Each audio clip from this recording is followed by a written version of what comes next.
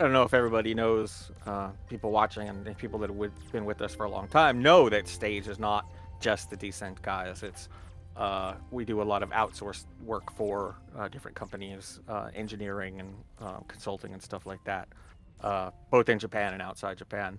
And um, those guys, you know, are on the external projects, and people have, have come and gone, moved from Desynced to external, external Desynced. Paul has has done stuff in the past to like kind of keep the funding of Desynced going uh, and the company going, and, and, so yeah, everybody, it's a it's a family effort. It's yeah. um, uh, everybody has contributed.